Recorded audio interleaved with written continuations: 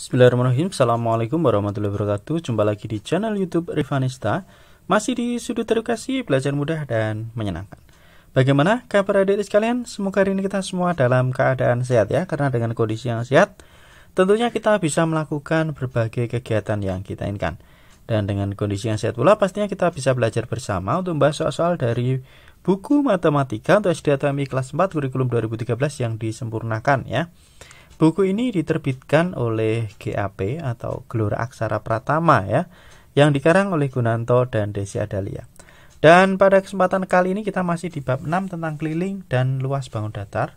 Tepatnya di sini ada soal penugasan adik-adik sekalian di halaman 102 ya. Nah, ini. Jadi adik-adik nanti bisa disiapkan selembar kertas ya. Selembar kertas karton ya yang ukuran panjangnya ini 30 cm dan lebar 28 cm.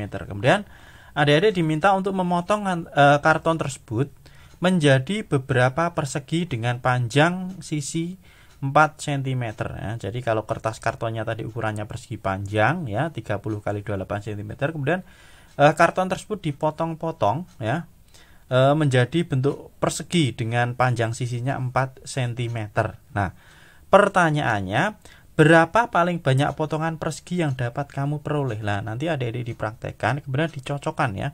Apakah sudah sesuai atau belum? Nah ini nanti akan saya bantu uh, untuk uh, dihitung ya. Jadi uh, banyak potongan persegi yang diperoleh itu bisa kita hitung dengan cara kita uh, tentukan dulu luas ya luas kartonnya tadi ya. Luas kartonnya berarti kita hitung luas persegi panjang yaitu 30 kali 28.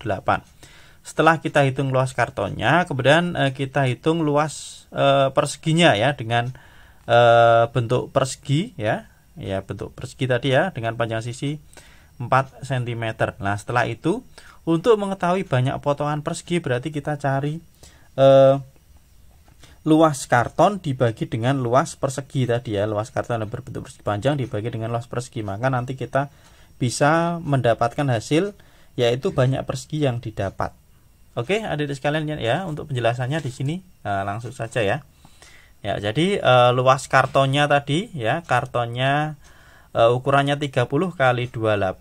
Nah, kalau kita kalikan berarti hasilnya 840 cm persegi ya ini karena bentuknya persegi panjang. Kemudian perseginya tadi ukurannya adalah 4 cm ya. Panjang sisinya jadi 4 kali 4 hasilnya 16 cm persegi. Nah, maka untuk menghitung banyak persegi ya, yaitu luas karton dibagi luas persegi sama dengan 840 dibagi dengan 16. 840 bagi 16 hasilnya adalah 52 ya, sisanya de 8 kalau dihitung dengan menggunakan porogapit ya. Dapatnya 52. Nah, oke. Okay. Eh, jadi banyak persegi yang didapat adalah 52 persegi itu ya. Nanti ada adik cocokkan apakah betul uh, betul uh, persegi yang didapat yang ukurannya 4 uh, cm panjang sisinya ada 52 lah ini. Ya, nanti dicocokkan uh, seperti ini ya. Oke, adik-adik sekalian mungkin uh, ini untuk pembahasan soal penugasan ya. Kemudian untuk pembahasan soal berikutnya tetap ikuti terus di channel YouTube Rivanista ya. Terima kasih sudah belajar bersama. Semoga bermanfaat dan yang masih ketinggalan bahasan sebelumnya bisa dilihat di playlist GAP Matematika kelas 4. Dan eh, jangan lupa untuk selalu berdoa agar diberikan kemudahan dan kelancaran saat belajar maupun saat mengerjakan soal. Saya akhiri.